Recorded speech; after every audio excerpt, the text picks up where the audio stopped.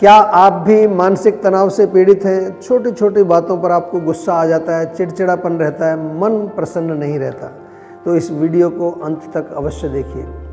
दोस्तों, मानसिक तनाव एंजाइटी स्ट्रेस ये अनेक नाम आजकल आपने सुने होंगे। और आज के युग में शायद ही कोई ऐसा व्यक्ति आपको मिलेगा जो इस मानसिक तनाव या स्ट्रेस से पीड़ित ना हो। बल्कि कई जगह तो मैंने ऐसा महसूस किया है कि लोग समझते हैं कि अगर आपको तनाव नहीं है तो आपको, आपका कोई इम्पोर्टेंस नहीं है। तो लोग कई बार ऐसे दिखाते हैं कि मैं बहुत स्ट्रेस में हूँ, बहुत टेंशन में हूँ, लेकिन अधिकतर लोगों की बहुत बड़ी एक प्रॉब्लम बन चुकी है। आज हम रेगुलर बॉडी चेकअप कराते हैं। कई बार सारे टेस्ट हमारे नॉर्मल आते हैं, लेकिन हमारा स्वास्थ्य अच्छा नहीं है। बहुत सारे लोग हमारे पास भी ऐसे आते हैं। क्योंकि आयुर्वेद ये कहता है कि स्वस्थ आप कब कहलाएँगे? जब आप शारीरिक लेवल पर, मानसिक लेवल पर, इमोशनल लेवल पर, सोशल लेवल पर, हर लेवल पर आप जो है प्रसन्न हैं। आयुर्वेद में तो लिखा भी है, प्रसन्न आत्मेंद्रिय मनम, स्वस्थ इति तो क्या है वो सीक्रेट क्या है वो आयुर्वेदिक प्रिंसिपल जिसको पालन करके हम हर लेवल पर अपने आप को स्वस्थ रख सकते हैं? आज केवल हम बात करेंगे कि मानसिक तनाव यानी कि मन को हम कैसे शांत करें, मन को कैसे प्रसन्न करें। सबसे पहले हमें ये समझना है कि मानसिक तनाव यानी कि स्ट्रेस एंजाइटी ये जो रोग हैं, इनका मूल कारण क्या है? आयुर्वेद की दृष्टि से समझें तो मन के अंदर रजोगुण और तमोगुण जब बढ़ जाता है, इसको मानसिक दोष कहा गया है आयुर्वेद ये जब बढ़ जाते हैं तो हमारा मन काफ़ी एजिटेटेड रहता है, बहुत अशांत रहता है, बहुत ज़्यादा उसमें एक तरह से नेगेटिविटी आ जाती है। तो सबसे पहला तो हमारा यही स्टेप है कि राजसिक और तामसिक भोजन, राजसिक और तामसिक चीज़ें देखना या राजसिक, तामसिक कोई चीज़ें सुनना, उनको आपको त्यागना है। सात्विक is the word sattva guna is the solution for your mental problems जी हाँ सात्विक भोजन करिए, सात्विक चीज़ें देखिए, सात्विक बातें सुनिए एंड मोस्ट इम्पॉर्टेंटली जितना भी हो सके, थोड़ा मन को शांत रखने की कोशिश करो। जब समय मिले, थोड़ा गैजेट्स को दूर करो, थोड़ा डीप ब्रीदिंग करो। साथ में बहुत इंपॉर्टेंट है हाइड्रेशन क्योंकि शारीरिक लेवल पर देखें तो वात का प्रकोप होता है। तो हाइड्रेशन चाहिए और मुख्य रूप से जितने भी ये कोल्ड ड्रिंक्स हैं कैफीन है निकोटिन है अल्कोहल इसको तो बिल्कुल त्यागना पड़ेगा आपको। ये बहुत ज़्यादा हमारे मानसिक स्वास्थ्य को बिगाड़ते हैं।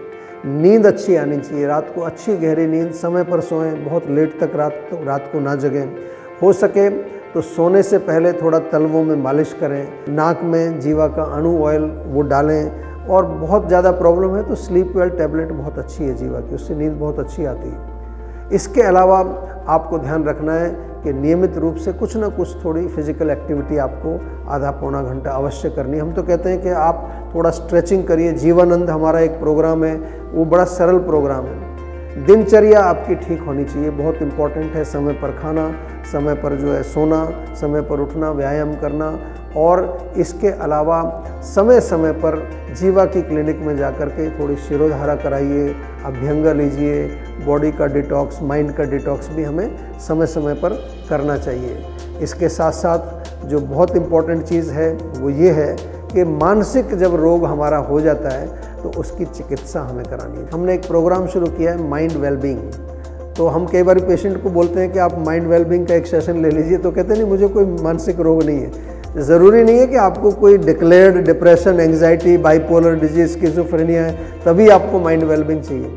अगर आप नॉर्मली भी आपको मानसिक तनाव होता है स्ट्रेस होता है फियर होता है एंग्जाइटी रहती है या छोटी छोटी बातों पर चिड़चिड़ापन है तो कहीं ना कहीं डीपर लेवल पर, आपके इमोशनल लेवल पर, या जिसको हम सूक्ष्म लेवल पर जो चित्त हमारा है अनकॉन्शियस माइंड जिसको हम कहते हैं, वहाँ पर कोई ना कोई ऐसी चीज़, एक ऐसी कोई फ़ाइल वहाँ खुली हुई है, जो बार बार आपको परेशान कर रही है। उसके लिए माइंड वेलबींग सेशन चित्त शोधन थेरेपी हमारी बहुत अच्छी है। और मैं तो आपको बार बार एक ही चीज़ कहता हूँ कि अगर स्वस्थ रहना है, थोड़ा सा समय अपने आप को दीजिए शारीरिक लेवल पर लाइफस्टाइल भोजन को शुद्ध करिए, मानसिक लेवल पर सत्व गुण को बढ़ाइए और आत्मा के लेवल पर जीवा मेडिटेशन हर रोज़ आपको करना चाहिए। यूट्यूब पर अवेलेबल है, वहाँ सर्च करिए जीवा मेडिटेशन इस प्रकार से आप आयुर्वेद से जब जुड़ जाते हैं और ख़ास तौर से जब आप जीवा से जुड़ जाते हैं तो हमारे डॉक्टर्स हमारे हेल्थ कोचेज़ हमारा सपोर्ट स्टाफ सब आपके साथ जुड़ जाते हैं। और बहुत प्यार से, बहुत कंपैशन के साथ एम्पैथी के साथ, सद्भाव के साथ हम आपके साथ काम करते हैं, ताकि आप स्वस्थ रहें, प्रसन्न रहें और सुखी रहें। बहुत बहुत धन्यवाद। नमस्कार।